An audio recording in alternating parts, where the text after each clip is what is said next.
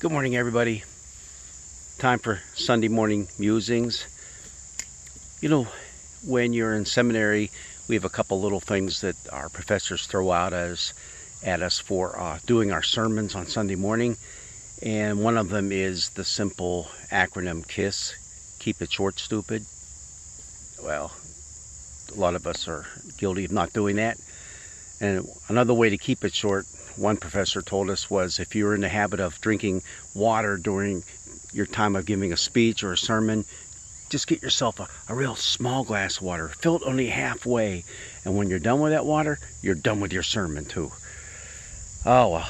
Well, the best bit of advice I got, though, was from a professor who said, Look at all the scripture readings for that morning and try to tie them together instead of just having a bunch of hodgepodge that you throw at the congregation and say, Hey, go home with it now, be blessed by it, figure it out. No, try to tie it all together.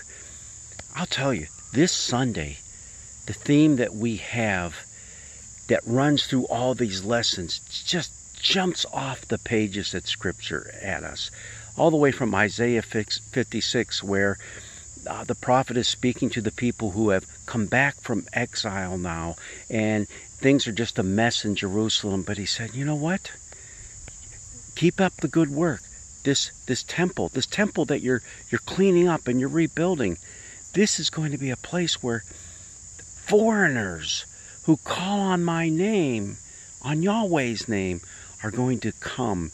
They're going to be blessed. They're going to be allowed inside of the temple. See, normally they just go into a little courtyard. Now they're going to go into the temple itself. Wow. The foreigners, they're going to be blessed in that way. Our psalm, Psalm 67, talks about God's blessings for us, especially those at harvest time, but also the way He rules the earth in, in righteousness and, and justice.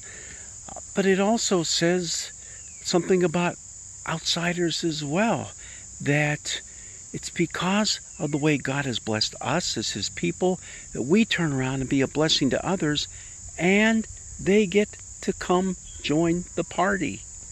That's awesome. The Apostle Paul, who once again is struggling with his own people, the insider people in this case, who are the Jews who aren't accepting Jesus as Messiah, Jesus' love, Jesus' grace toward them. But he that struggle also moves on to those who are outside of the Jewish realm and how they have been called, they have been blessed, they are a part of this great thing called the kingdom of God. And we get all the way to our gospel lesson where Jesus is dealing with a Canaanite woman, pagan as pagan can be, outsider as outsider can be, you know, dregs of society as deep as the dregs of society can be, if you considered uh, the social standings back in those days, here, this Canaanite woman exhibits what Jesus says great faith.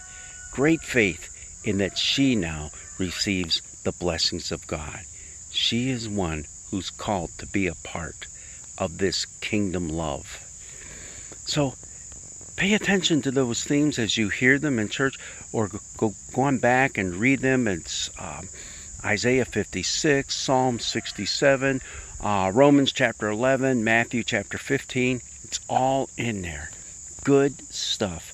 Stuff that reminds us as God's people who tend to be, hmm, we tend to be a little self centered ourselves at times. Nah, not us, not us, right?